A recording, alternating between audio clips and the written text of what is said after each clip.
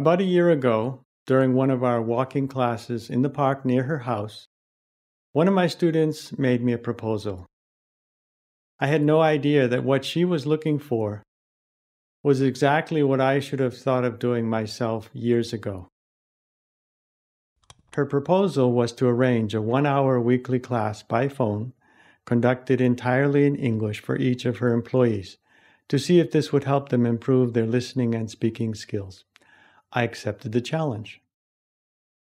In Spanish companies, voice communication in English with clients and suppliers has become more and more common. Many workers, even those with a good level of English, uh, are suffering from this change. My students' workers were no exception. The first calls were quite difficult, to say the least, but that's understandable considering the quality of the second language teaching in the Spanish school system, but that's another story.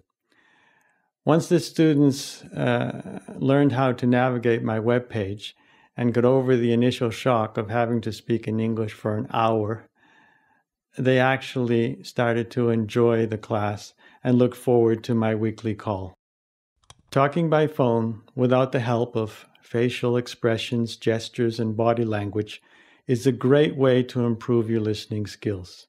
And of course, it's much easier to arrange than a physical class. So, thanks to my student's proposal, there are now three different ways that you can take a class with me. We can meet and have a regular class, or we can have a walk in class, or if you prefer, I can call you and we can have a class by phone. It's up to you. So, what are you waiting for?